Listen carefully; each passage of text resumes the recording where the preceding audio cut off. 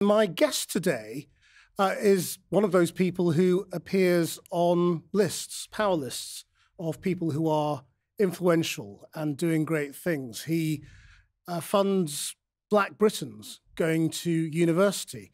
And no, I'm not talking about Stormzy. I'm talking about somebody who, who you may not have heard of. His name is Ric Lewis. He's an investment fund manager. Uh, and he was voted the most powerful, influential Black Briton for 2019 recently on on on you know, the the list, the, the power list. Um, why why do you think you got that accolade? First of all, are you, do you think you are the most powerful Black Briton? Well, I, I think um, the actual ranking of individuals is less important than what Michael Eboda and Powerlist have really been doing. I think that they've been creating a community that celebrates ourselves, at some level providing our own pastoral care to ourselves, which is great. Um, I think, you know, why did I wind up on the list? Because I think I've decided to sort of take myself out of my comfort zone and move a few stones to help build the proverbial village that changes things, little and large.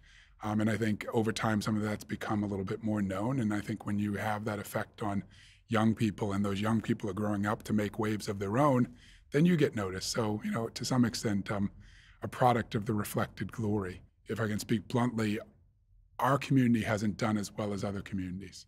We haven't bonded together to trust each other with our livelihoods, with our resources to go and make change as well as other ethnic communities have. And so it's, I'm really proud to see us be, be doing it here. And help each other. And help each other. The way other ethnic minorities often do. Exactly right. You know, I, I talked uh, and I have talked plenty of times about creating geometric change, you know, like one and one getting together, not to create two, but three, three plus three equaling 10, 10 plus 10 equaling 100. That's not bad maths. That's a vision. That's a belief. And I think that we don't do it as well as some others. I mean, I've been, you know, I was at, and I, and I want to be careful about how I said this, I was at uh, a function of another ethnic community that gets together on a regular basis to support each other. And it was a, a big dinner, and there were about 300 people in the room. And uh, a gentleman was up talking, and the two people that were sitting next to me actually said, God, this guy's a windbag. We really don't even like him. A couple minutes later, he asked for an appeal for the room to support something in the community. And in, in about 15 minutes, they raised 3 million pounds. And I turned to one of the guys and said, You don't even like the guy. Like, why did you, why did you give him money? He said, Because I don't have to like him to like his idea or to know how important it is to our community. I'd like to see our community do more of that. We're doing some of it now, but I think we can do even more. Well, I mean, look, the first thing, there's a lot, a lot there I want to come back to, but the first thing people are going to notice if they're listening to this or if they're watching this is um, he doesn't sound British. Right. So, um, so tell us where you're from and what. Yeah. So, what, so I'm, so I, I grew up just outside of Boston. I'm American, and my accent probably is a pretty good cue to that. I came over here about 20 years ago. Um, I want to say, you know, related to our last question, you know, I've seen the face of philanthropy and community involvement change or collective consciousness change. When I first got here um, in this country, I would go to fundraisers because I've been doing the work I've been doing in the community at the nexus of education and under-resourced uh, children for a long time. Um, you know, programs in the states, and I wanted to do the same thing when I moved here 20 years ago. Um, but the fundraisers I went to when I first got here were all about animals or lifeboats. You know, I mean, truly, I mean, great mm. organizations, mm. but, and I would say. They are, they are British obsessions. They are perhaps so. And I would say, but what about the children? And people would say, dear, they're in boarding school. And I would say, no, no, what about the, the poorer children, the under-resourced children? They said, well, we really don't know them. Now, I'm being a little facetious, but the conversation has changed, you know, about skills, about aspiration, about achievement, and people helping each other. And I think that's been a really positive change. I witnessed and was a product of that change in the US. And so to come here and see that evolution and to be able to play a part in it has been pretty meaningful to me. In what way? What was your childhood like? What kind of family did you come from? Um, so, uh, middle class family. My father, firefighter. My mom, a clerk in the telephone company. Good, hardworking folks that showed me the power of hard work. I mean, you know, I'm a product of the post-civil right 1960s USA, where um, despite the prejudices and imbalances of the prior time and me suffering some along the way, too, um, I also um, saw, you know, I had an appreciation for how hard my family had to work to, to bootstrap itself. Um, but my family, you know, my parents in particular were hardworking and generous. And what the, one of the things that I think is most meaningful to me is that as I started to explore new things that change what I call my aspiration bubble, they were supportive of it. My work in the community, sometimes I see parents who struggle as their children's are, children are becoming more um, classically educated than they are, or experiencing more things than they are, or traveling more than. And my parents were great. You know, they didn't always understand what I was getting into or the worlds that I was traveling into, but they always encouraged me to do more. Um, so, so that was my background. Were, I, were you always the bright, the bright boy? Were you the bright kid in the class? Um, I was always one of the bright boys in the class, but you know, you you know, you only come to know that over time, and that's part of my story, um, and it's part of what feeds my work about talking about aspiration and aspiration bubble. So I was, you know, I grew up in a predominantly white community. My family was one of the few sort of uh, minority families in my community. Why was that? Uh, it's just where we just where we were, yeah, where we were growing up, yeah, where we were we were located. Um, and um, my, as I said, my dad was one of the first sort of uh, black men on the fire department in that community. Um, and um, I was a very good student. I was president of my class. No one kind of told me that I was different or I, you know, I didn't understand in the way. I mean, certainly I suffered small prejudices, but um, there was something curious about me that thought like, well, why wouldn't I do this? Um, and I, um, I, I had a moment that really feeds a lot of the work I do. I was uh, in my ultimate year of high school and was planning on going to university. Now, two years prior to that, I actually didn't know what the Ivy League was. That's like growing up here and not knowing what Oxford and Cambridge or the Red Bricks are. I went to the school library and actually looked up what the Ivy League was. And I was in the hallway um, of my high school, and the director of guidance, the people that are associated with helping sort of the further education or experience of kids after children after they graduate high school, came up to me and said, "What are you going to do next year?" And I said very proudly, "Like I'm going to go to university." He kind of slapped me in the head and said, "Of course you are with your grades and stuff, but what university are you going to go to?" I was a product of uh, perhaps a guidance counselor that had worked too many years and had seen too many children and gotten tired and bored. And uh, he had me applying to schools that, in retrospect, were well below my potential. So the head of guidance said, Look, here's a permission slip. Go get this signed by your parents. And the next week, he took me to a college fair in Boston at Northeastern University and walked me table to table to some of the best universities in the States.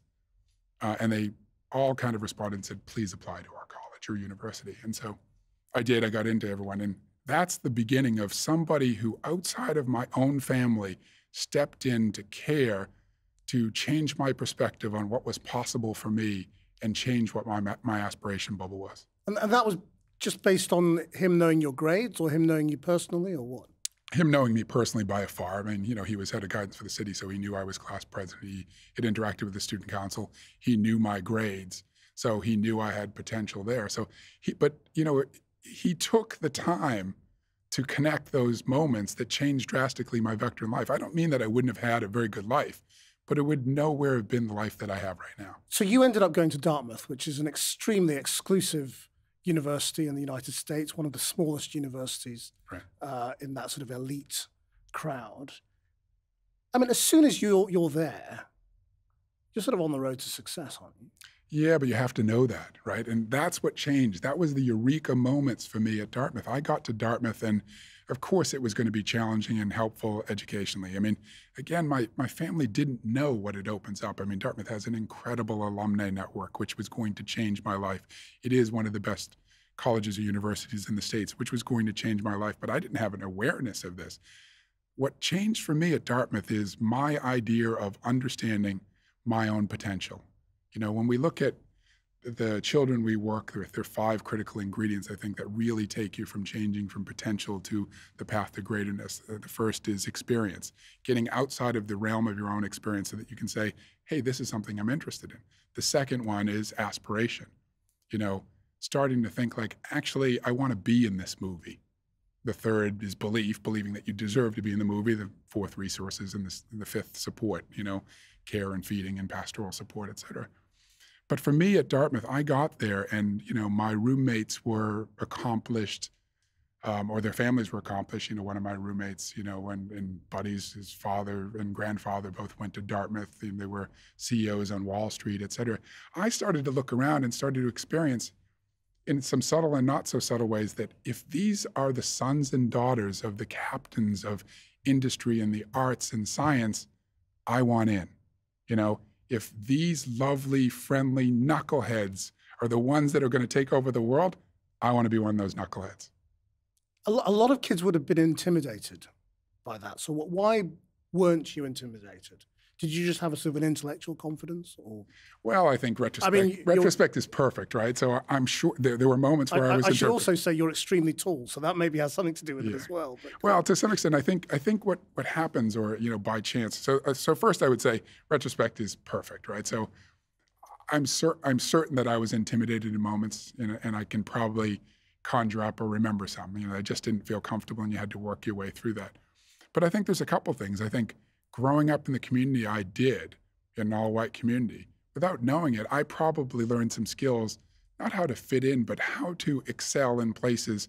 I think that one of the skills that I've learned or grown to be good at is being able to um, to be very comfortable in environments that aren't my own, you know, to adapt pretty quickly. I think that's one one of the things. I think the second thing is that you in those moments draw on things that you are good at. So I had basketball and being part of the basketball team and part of a community that would anchor me as I was exploring other things.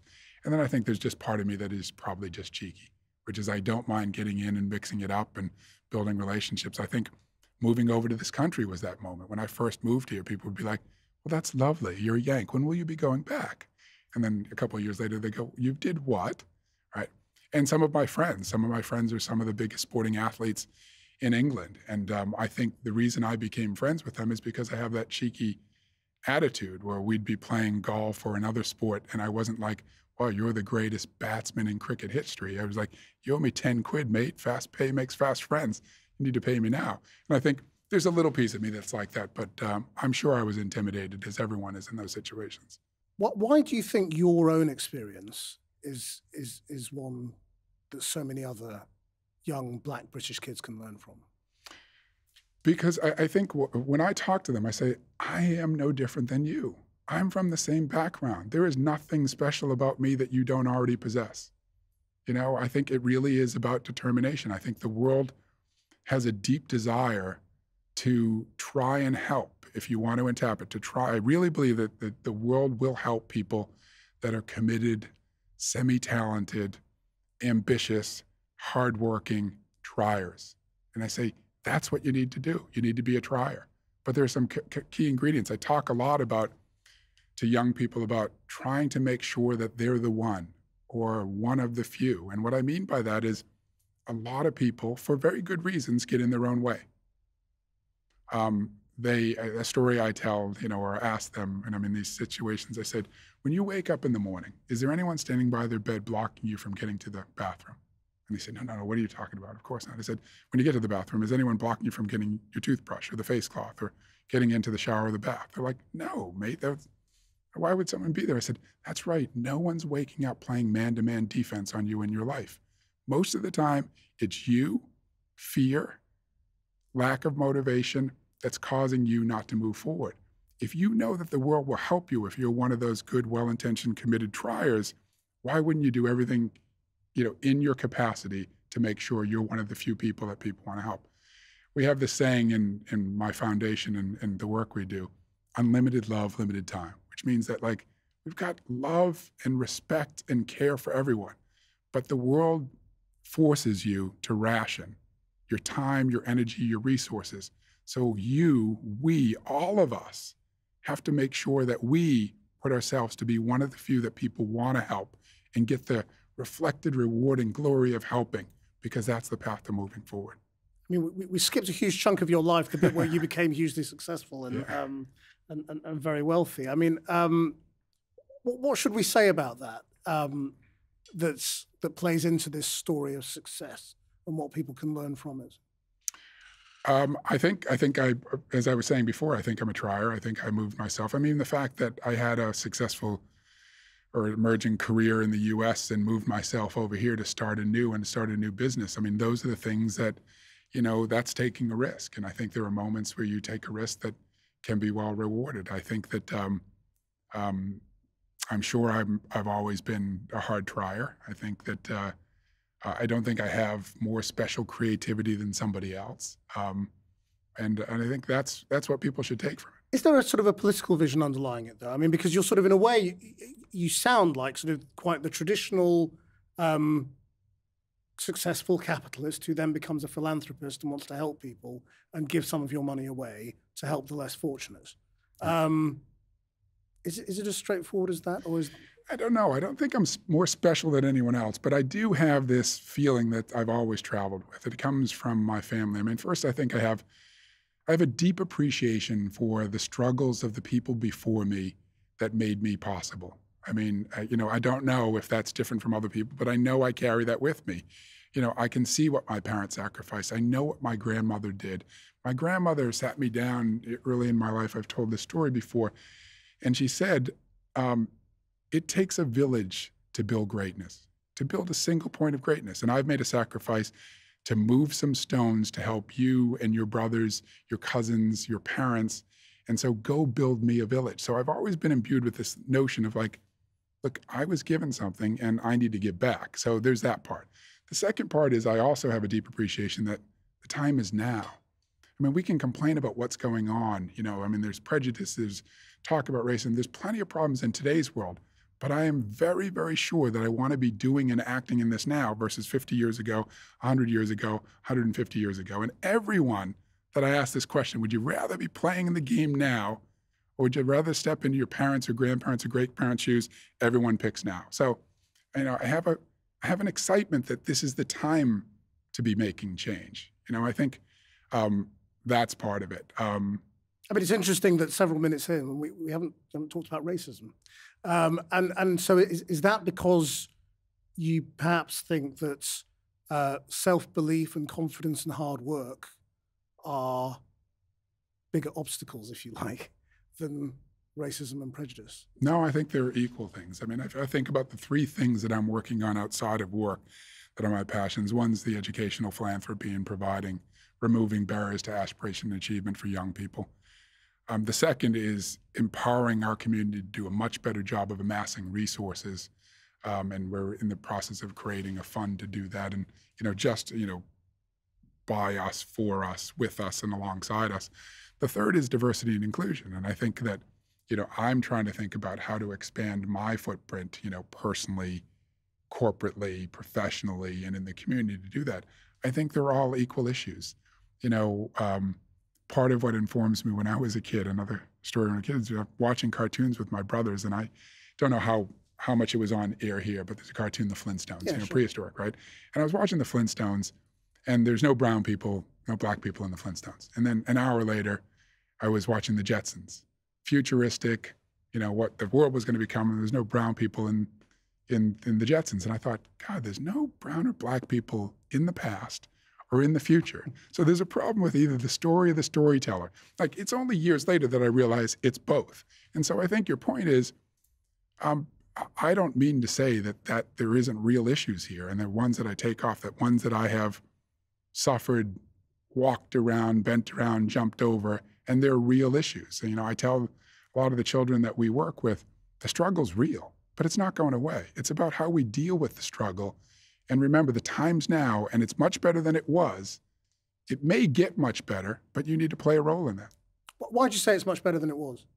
Well, because I think I'm, I'm talking about a long term historical perspective. I mean, if you really think about it, if I think about where my family was 150 years ago, and I don't want to be flippant about this, but someone probably owned us, right? I mean, so like it is better now, no question. Um, whether it's better today than it was three years ago, that is certainly up for debate, right? But what I like about today, well, not like about today, what I'm, I'm pleased that we are, is there's a conversation about what's going on. Whether it's the Me Too movement, whatever, no matter where your perspective is on how far the pendulum has swung, far enough, not far enough, more to do, we're having the conversations. And they're hard and they're painful and sometimes ugly and costly. But we're having conversations that we didn't have. Um, there's miles to go before we sleep, for sure. But we're in the conversation. I mean, you you work in in in the investment world. You have, I'm sure, lovely offices in Mayfair. Uh, how many people like you are there in your world? Um, not enough. Um, uh, I grew up in business in the States. And when I started it, there was very few of me there. Now, when in the States, there's a lot of me there. So I've seen the change over 30 years. I'm not saying there's enough, but there's there's a good representative view, a good representative collection of us, however we want to define us or me. In the US. In the US. I, I don't mean it's enough, it can always change, but and it's from top to bottom. There's people, so we, we're making progress. Uh, when I came over here, I would go to a conference, you know, in the real estate private equity world, and there'd be 500 people there, and it would be just me if I measured it as brown people. I mean, if I measured it to brown males, just me, you know, I mean, a need for change. Now that is changing and has changed, but we need to continue to do more and be open to more. You know, myself and at Tristan, we have a very international business. So we're from 20 countries and speak 25 languages. So, you know, in terms of diversity, we have a lot of diversity. But, you know, I'll be very open about this. You know, I, we still don't have enough brown people. I mean, not that there's a quota or whatever, but I, I know the intake, the opportunity, the collection of people in our industry um, is still small. And so we're trying to work at the grassroots level and outreach to try and bring people in the industry to help them understand the pre-qualifications that they'll need to be successful. But that's no different than I look at our business and while I think we're better than the industry averages, which is a nice pat on the back, we don't have enough senior women in our leadership. We're working on that too at every level of our firm. So there's plenty of work to do. Do you believe in positive discrimination? Um, I believe in positive consideration. Maybe that's a way to think about it. I, I don't want to think about discrimination. I mean, uh, it's a tricky question because I know that at some point I was I was the beneficiary of someone being open-minded enough to say, you know what, on this coin flip, let's take the kid that's brown. And so I want to be open to positive consideration on that coin flip. But um, but I understand if the pendulum swings too much, that can be harmful too, where you're picking people because they have a certain characteristic, but they're not as qualified as somebody else. You know, I, I want to be open to positive consideration. So, on, on well, what, what you say is the, the, the coin flip. So, what you're talking about there is if you have two candidates the same.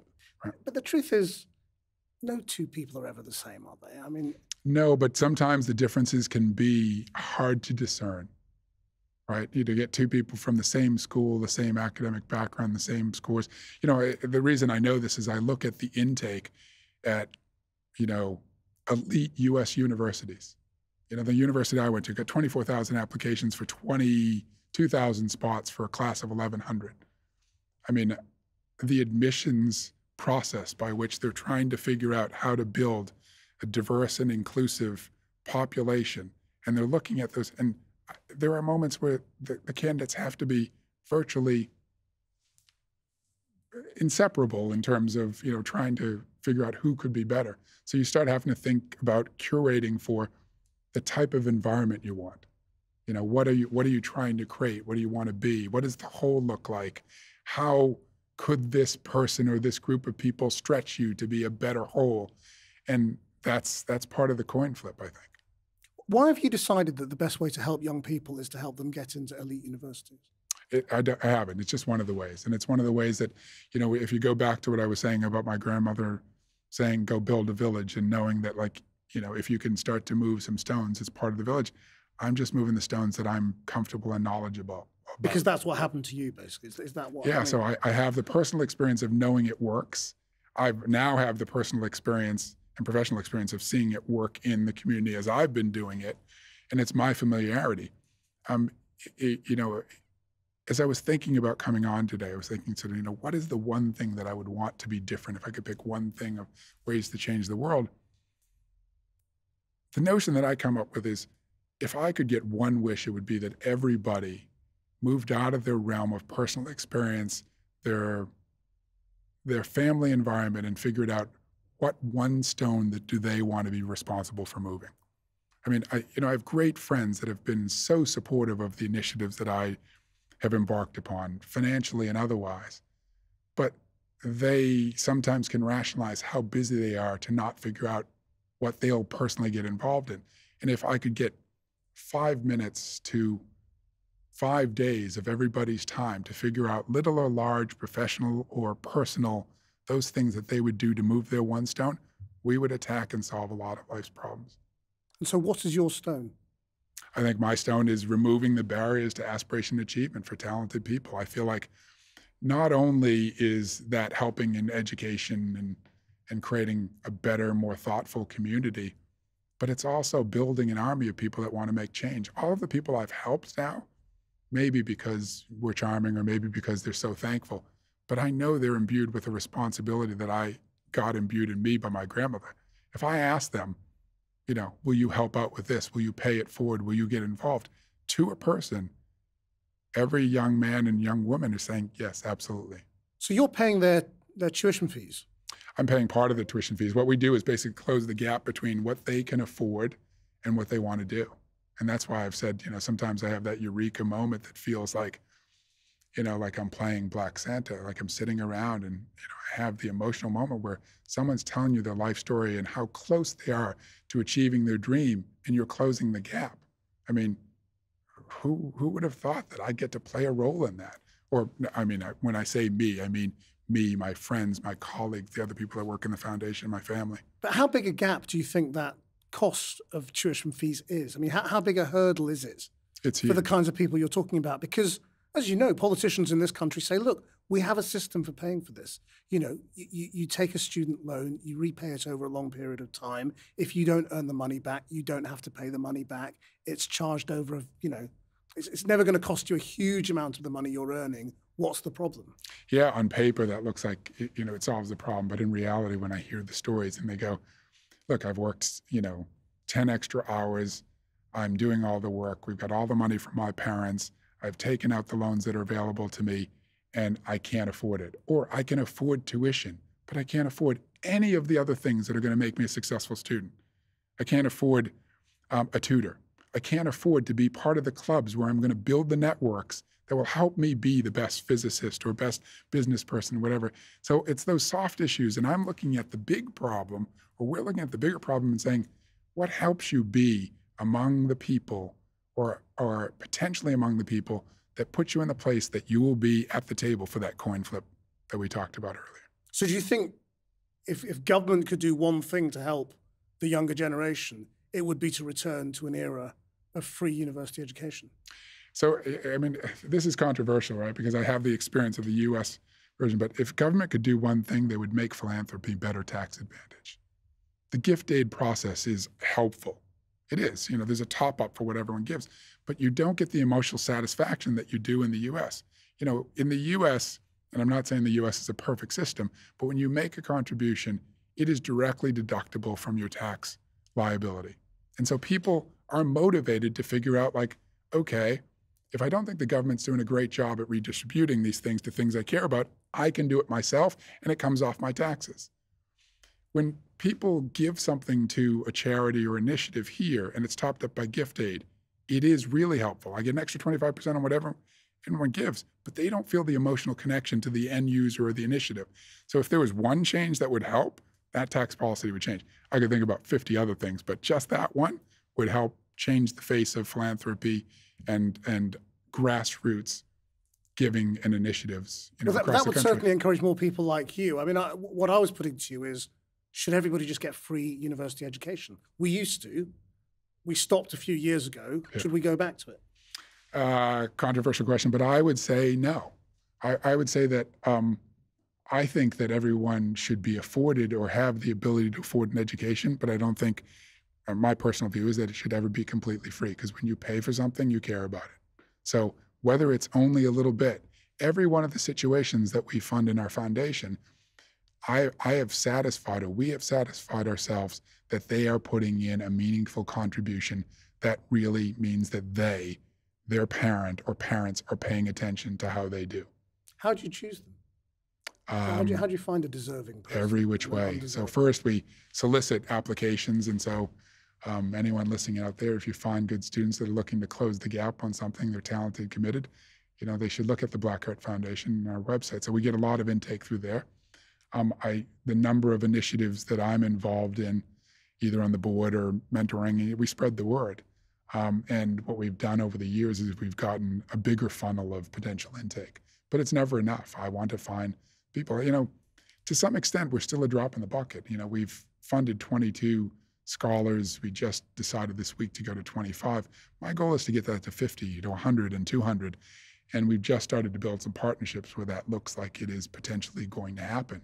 Um, so to some extent, other philanthropists, you mean, or uh, and organizations. Right. I think what happens is that we've had a long track record of, or medium long track record of success. Some other people are saying, "Well, this is something I should get involved in." I mean, there is the there's a bar to jump over where you go from being something that's interesting and grassroots to an accepted, well-known, high caliber charity.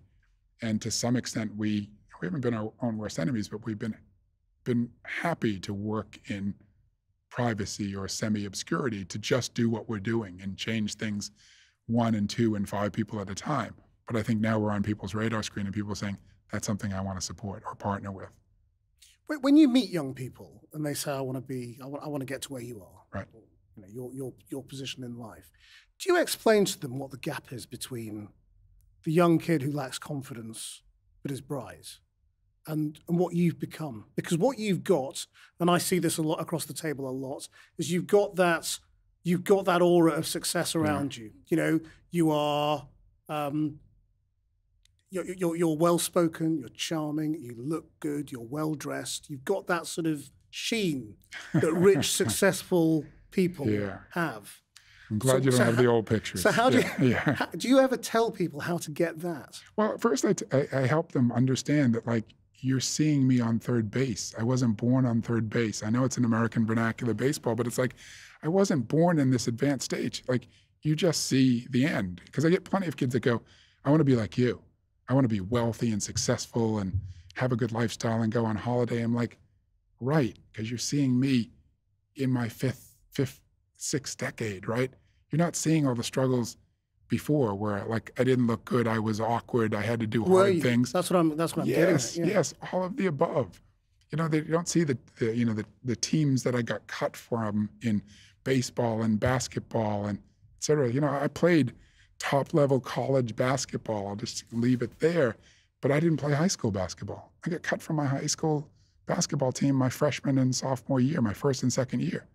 I mean, people say like, how could that be? You played Division One college basketball. You played against Michael Jordan. How did how did you not play high school basketball? I'm like, yeah, because you don't see the whole picture. Now, I mean, I, I was also like five foot two when I started high school. I grew 12 inches in high school and 10 in college. So in addition to practicing and playing and being competitive, I also get some, you know, physical benefits along the way. But people only see the end product. And what, what I try to remind the students that I talk to is that the struggle is real.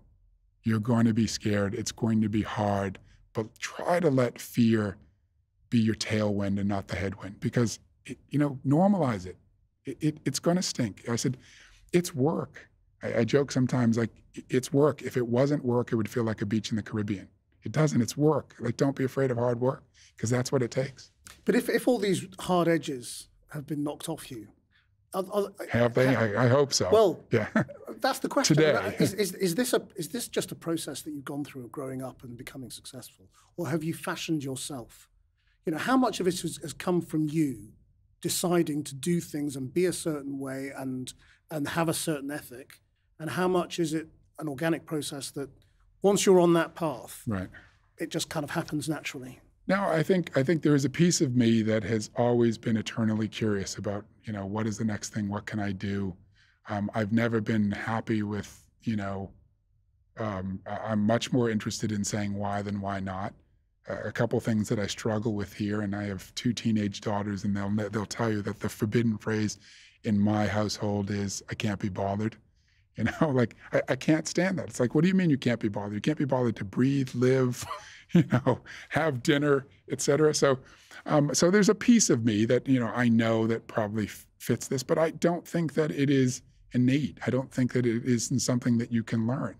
There are plenty of things that I haven't done well that I've had to just make myself get better at. I think the second piece is that it's all part of a process.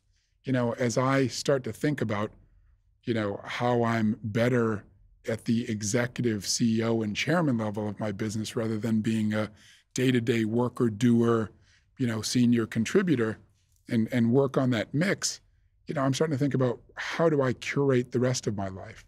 You know, and so I'm curious. So that's a process. I don't have 20 people that look like me, that have the same background as me, that were on all the best boards that can go, here's exactly what you're going to do. So just like they're trying to figure out, I'm trying to figure out like, what is the right way to curate the next 20 years of my life? It's the process we're all going through, self-discovery. It's um, it's really exciting and sometimes scary as all heck. The other thing that will have happened to you, though, from the moment you went to Dartmouth, is that you were surrounded by white people. So, in, so culturally and in terms of behavior, how much of that do you think you've taken on and dished your your own history? Well, I think I was surrounded by a lot of people. I mean, yes, maybe it was a predominantly white environment, and and um, you know, I th- think I've already spoken to the fact that like I do believe that I develop skills that or, or a comfort or an ability or an aptitude to be in diverse settings and not let it make me feel like do I belong here? What am I doing, et cetera. That does not mean that I didn't feel that way several times along the way, because I certainly did, but I think I just had a lot of practice at it. So, what do you say to young people who, who feel that discomfort? Practice, practice, practice, get in the game. I mean, the truth is, is like, you know, what I've seen is, the, is that wonderful moment where some of those young people go from like, wait a minute, they're just as, comf- as uncomfortable as I am. So why don't I take control of the script? Why don't I take control of the mood here and engage with them?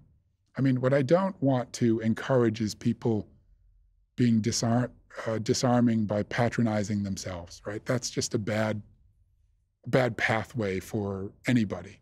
But I think there are places where you can meet in the middle. You know, uh, there are plenty of times where I disarm people um, I have to. I'm six foot ten, black guy, right? Like I'm, you know, I, I, sometimes I look in the mirror and I go, God, I'm like circus tall. I mean, like I'm really, really big. So I, you know, I've. It wasn't just because of my ethnicity. I think I had or learned a way where like I became or found ways to become approachable. And so whatever your gift or your difference is, I don't think it's something that you can't learn. Is your family all as tall as this? Um, I have two brothers that are six five and six eight, and I have two wonderful daughters that are track and field and netball athletes. One, my oldest one, that's in University of the States, by the way, at Dartmouth, is six feet tall, and the younger one, who's 15, is six foot four. What effects so, do you think being tall has on your outlook? I think um, I think there's the dual effect. I mean, there's probably plenty, but the, I think the first one is that you're present. So you walk in the room, you're noticed. Good or bad, you're noticed, right? So um, there creates some pressure on sort of what kind of you know effect you want to have in the room. I, I see my 15 year old negotiating that now. People think, wow, she's wonderful and beautiful and stunning and well spoken. And sometimes she just wants to be quiet and not be there. She wants to be a quiet 15 year old. And other times, um, she uses it and owns the room, even at 15. You know, I mean, so I think there's both of those. And I think my elder daughter that has a slightly different, you know, perhaps um, more, slightly more introverted personality has had to decide for herself, like, how do I want to approach the room? You know, and I think, you know, but it provides an opportunity, uh, perhaps some hardship, but an opportunity as well. Um, how, how, many people like you now um, are doing the same sorts of things? You know, when, when you talk to your friends about what you're doing, how many of them say, "Oh, I'll, I'll, I'll give you some money for that"? Well, I, I, think the bigger question is, you know, because the foundation, in addition to funding Black Heart Scholars, which we provide bursaries to, we also provide funding to organizations and initiatives that help provide the support to people like the scholars and. And there's a great many people in this country that are doing it. I mean, I get a, a number of solicitations at the grassroots level, local, regional, et cetera. There's a lot of people. There's a big army of people that are trying to do good out there, and I'm really encouraged by that. Um, among friends and colleagues, I would say, you know, not enough. And I'm going to be controversial and call some of my friends out. They've been great. When I ask them to answer the call and join me to be in an event, to look after somebody, to counsel somebody, they're there. Um, do enough of them find the time to do something on their own? I'm still surprised by how few people do that. You know, that some people ask me sometimes, how do you find the time to do all the stuff you do? And I think, how do you not find the time to do a little something more? And I know that's a little bit obnoxious, but I see people that are really talented that, for whatever reasons, feel like they're doing enough between what they do at work, taking care of their family, and the other things. It might be their extended family. Um, I think there's room for more. So that's where I'll be an adjutant or militant. I mean, that, but that, that's a that's a big social phenomenon, really, isn't it? It is a big that's, that's happened over a long period of time. Right. Yeah, I Well- think it is.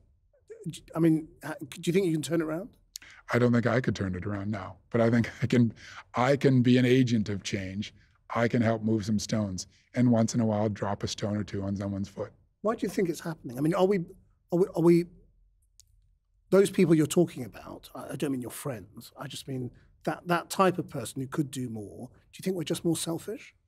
No, I think there's a lot of phenomena in, effect there. I think first, I think one of the reasons that motivated a lot of people towards charity and philanthropy was started from the family. You learned values at home that said we're going to take care of ourselves, and you saw your mother, your grandmother, your grandfather take care of the person next door that had a little less. Right? You you you saw those examples. I think family and the notion of family and the definition of family has fractured over time, so that's just changed. I think that's one of the things. I think the second thing is you know, and this is one that we'll just have to adapt to. The world is sped up. There's so much coming at us so quickly. I think people are truly overwhelmed by all that's in front of them. You know, you used to have time to think. It was slow news. You could read a newspaper, you could sit back, reflect. But now you get all of that in your handheld in a matter of seconds. You have to react to it. You have to have an opinion at it. You have you have teenage daughters that are coming to you that have an opinion on it that you have to negotiate. Everyone's in every conversation. And I think there's a big part of our population that's just going, "I- I'm just trying to survive, right? But we're going to have to adapt because the world's not going to slow down. So You're British and American. I am. You, yeah, you're I you're, you're I am now. watching Brexit and division Yes. on on one side of the Atlantic and Trump and all of that on the other. Yeah. Uh, which do you find the most troublesome? that is a tremendous question. Um, I- I don't think you could even pick between the two. Talk about a coin flip about which disaster is worse.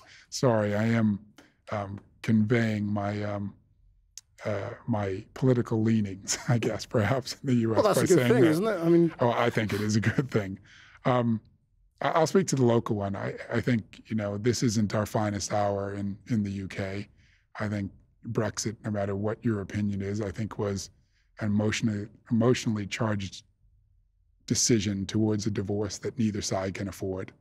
I think it is a slow motion car crash that will end up with um, uh, more than a few injuries, but probably no fatalities. Um, and I think over some period of time, and not one I'm willing to predict because I don't know and I don't have the crystal ball, but I think we're going to wind up not too far from where we started. You know, in some kind of uncomfortable separation in which both sides, both parents declare some level of victory, and we have visitation rights, relations, et cetera, that seem a lot like where we started, but at a tremendous cost. as an investment manager, I mean, do you hold people's pensions in your? Yeah, so we in- have, in we your have, we hands? have I mean- corporate corporate pensions and individual investors, wealthy families, et cetera. Yes, Do you think they will suffer? um, I think that um, in some period of time, I think there'll be volatility in markets that there could be a repricing of of performance. But I think over the time, our job is to negotiate that to make sure that they don't suffer. And I don't. I'm not worried for the long term value of the investment performance of the type of capital we manage. But along the way, that you know, there will be some So where is there the would have pain? some turbulence. Oh, there's pain along the way. I mean, you, you think about it. let- Let's use another example. Through 2008, the global financial crisis. I mean, we had a whole restructuring of our global economy. There was pain along the way, but we find our way back. You know, I'm, um, I jokingly, well, maybe jokingly, say to my team all the time, let's not let, let's put aside the Armageddon moment because I really do believe that 100% the end of the world will take care of ourselves. Like we don't have to worry about the end of the world. It will take care of itself. So let's figure out what we do if it's not the end of the world. And I have great faith that it won't be pretty. It won't be with interim costs, but we're going to find a way to muddle through. And, and I've seen that. I mean, if you look at it, the European Union, if you listen to Fox News, it should have been dead 15 times over the last 20 years. You know, it's funny, but it didn't slough off into the Mediterranean. Um, Greece is still here. Cyprus is still here. Italy, Spain, Ireland. I don't mean that their economic picture is always as comfortable as we want, but it hasn't changed. We're finding a way to muddle through to make it work. And I think, you know, we will. And do you think what you're trying to do with your philanthropy and encouraging young young black kids um, is is it easier or harder right now in, in in the environment in which we find ourselves of tension and argument over Yeah. position and immigration and wealth and elites and all of those things? Um, so, so I want to correct one thing because I want to make it clear. So, so uh, we are trying to help young black kids, but it's not just black kids. It's Not really I, kids. it's under-resourced kids. I mean, it doesn't matter what your ethnicity is. If you've got a gap between your potential and what you can afford, then we want to help. Um, uh, it, is. I don't know that it's harder. I think it is more needed. I think um, that. Um, I think at some level the world is open to helping more people in a greater fashion than it has been at any other time in history.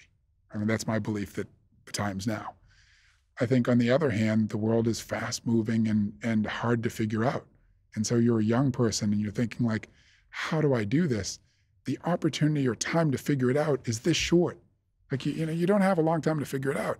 And then once you figure it out, you don't have a long time to amass the resources to get you there and to help you keep you there. So I think at some level it's easier to help people because they're going, I figured out the first two pieces, but I can't figure out the last piece. And that's what we're trying to specialize in is providing the resources, financial and otherwise, encouragement, pastoral care, support for people to be able to do that, along with a lot of other organizations. You've given me two concrete ways of changing the world. What you know, one was about um, tax and philanthropy. Right. Uh, the other was about everybody Everyone moving, moving a a stone. Yeah. I, I like to ask people if they if they have one that they know is really really controversial and hard to deliver. Do you have a sort of a secret one? If I could really take over, this is what I would do.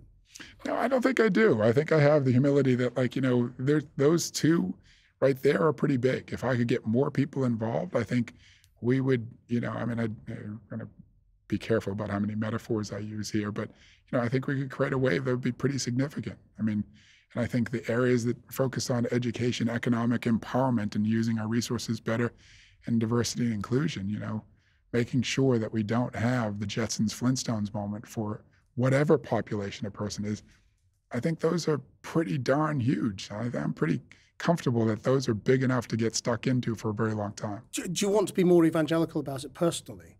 I mean, what's striking is that you know here you are, um, you know, a, a- rarity in your own industry, very successful, voted or uh, or you know, uh, uh, sort of decided as the the number one guy on the power list for this year. Yet, in truth, your profile is quite low. You know, if you Google your name, you know, if you Google, uh, pe- you know, people in comparable positions, Yeah. you know, you will quite often get a lot of newspaper articles about them. Google you, and you don't. Uh, it's quite, it's quite specialized. Is that a deliberate thing on your part, or is that? Do you think the It's deliberate. And, deliberate, and uh, we haven't been. I haven't been seeking, you know, popularity to get the work done. I mean, I think, I think there's two things. Is that you know, it was. I, I said to, to Michael Eboda and the Powerlist people, this is great. It feels like at some level a lifetime achievement award, but I'm not done. We're just getting started. Um, I think what we did with Tristan and then our predecessor company with my partners, Curzon Global Partners, is we're happy to sneak up on you. Like I want to just do the work.